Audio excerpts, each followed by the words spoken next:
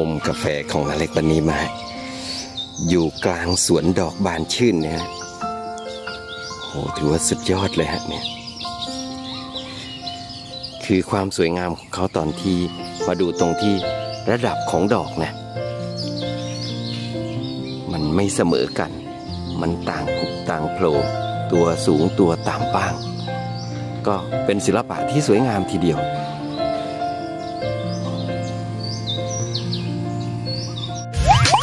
ช่องจิตในสารพี ท่านจะได้เรียนรู้กับเรื่องราวที่หลากหลายไปกับนาเล็กอย่าลืมกดติดตาม และกดกระดิ่งเพื่อแจ้งเตือนการลงคลิปใหม่ๆ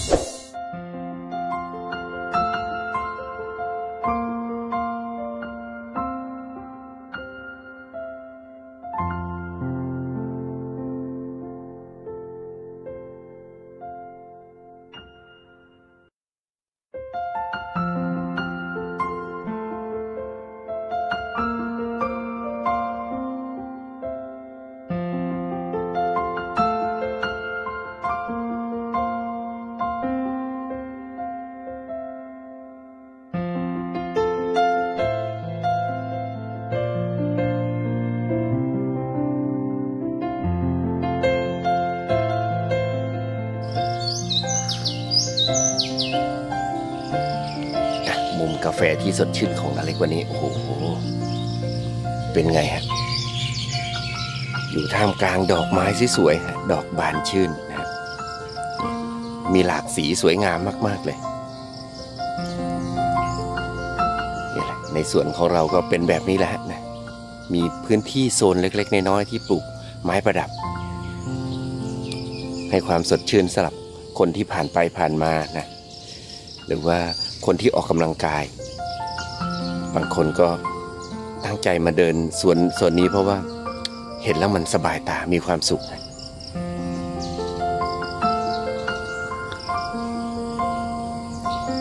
คนปลูกเหนื่อยนะเนี่ยเทพมิตรปลูกเนี่ย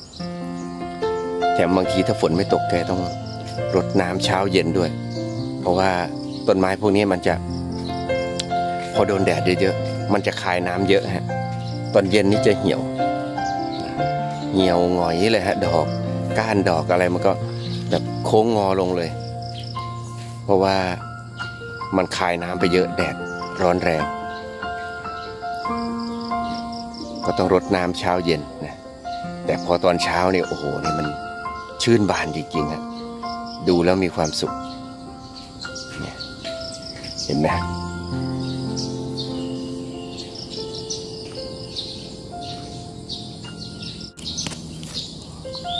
ก็อาจจะเป็นความฝันของหลาย ๆ คนนะ ตื่นเช้ามา โอ้โห มีดอกไม้ล้อมรอบนะทำอะไรก็จิตใจมันแจ่มใสอะนะมีความสุข สบายตาสบายใจ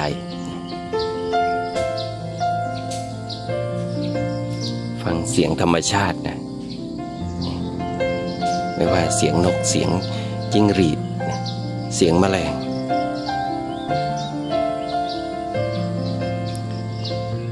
ดูแล้วมีความสุขจริงๆฮะนะนี่แหละก็เป็นเคล็ดลับที่นาเล็กใช้ชีวิตอยู่อย่างมีความสุขนะสุขกายสุขใจอย่างเงี้ย เพราะสิ่งเหล่านี้แหละ สิ่งแวดล้อมที่อยู่รอบๆตัวเรา คือถ้าเรามีสิ่งแวดล้อมที่อยู่รอบตัวเราดี จิตใจเราดีนะการทำงานของเรา มันก็จะ เอาแต่สิ่งดีๆ ออกมาให้นะฮะนั้นผู้ที่ได้รับการบริการจากเราก็จะได้รับแต่สิ่งดีๆ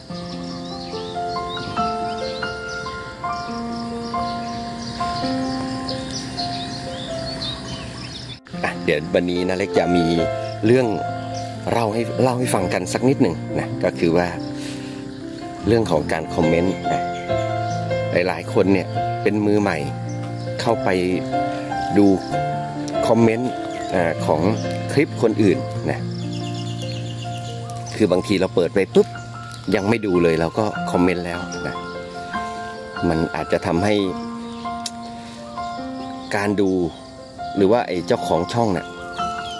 เขาไม่ปลื้มนะหรือว่าเขาไม่ประทับใจ เพราะว่าเขาสามารถที่จะรู้ได้ว่าเราดูคลิปเขาหรือเปล่านะมันจะมี จุดที่สังเกตได้นะ เดี๋ยวนาเล็กจะให้ดูนะว่าตัวนั้นคืออะไรเนี่ยถ้าเราไปดูที่ YT Studio ตรงข้างกับภาพรูปโปรไฟล์ของช่องอะมันจะมี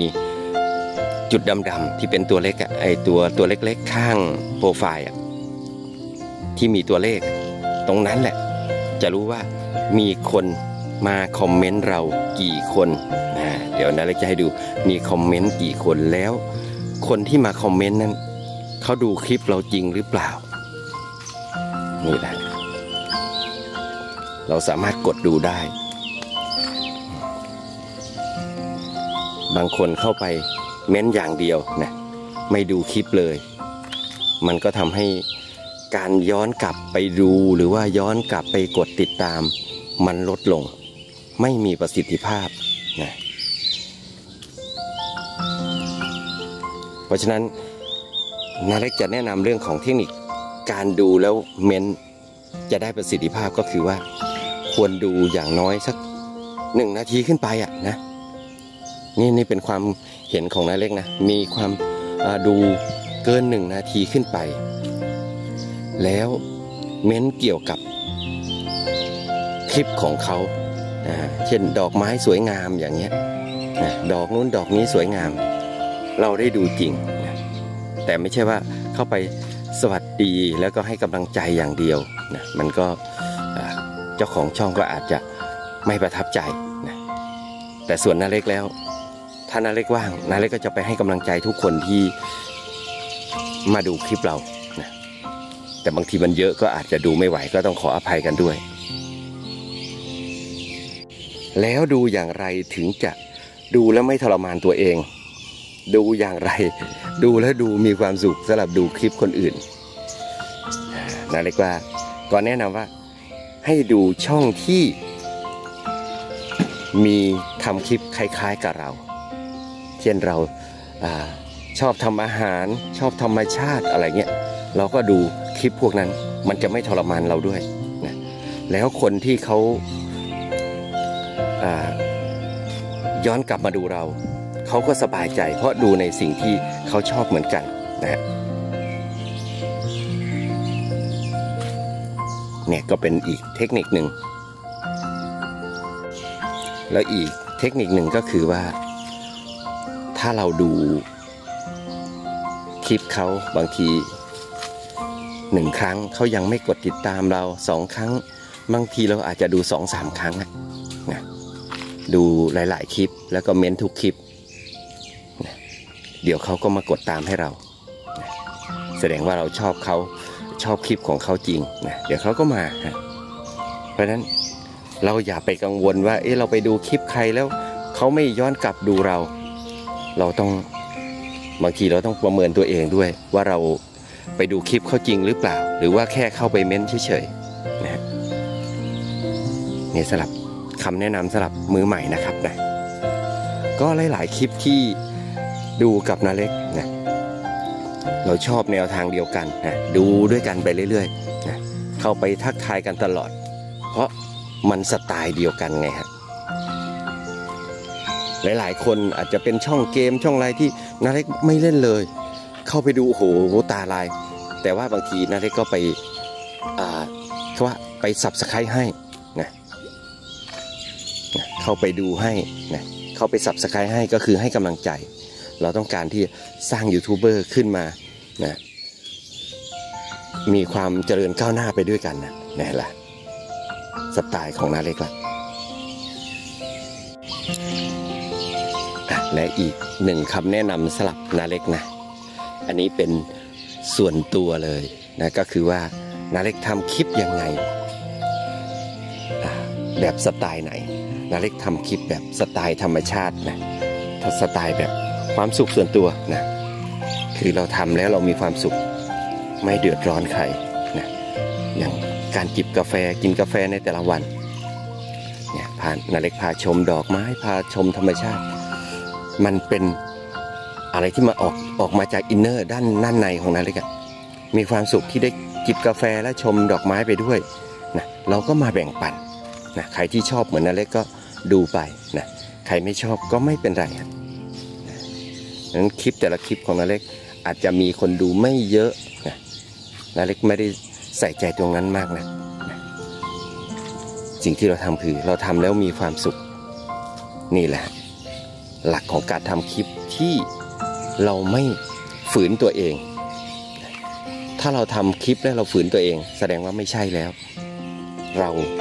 ไม่มีความสุขกับการทำ อย่าทำครับ